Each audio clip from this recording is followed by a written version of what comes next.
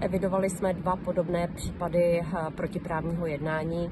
Každý jednotlivý případ jsme oznámili místně příslušnému správnímu orgánu k dalšímu projednání. V obou případech jsme neměli pachatele stotožněné.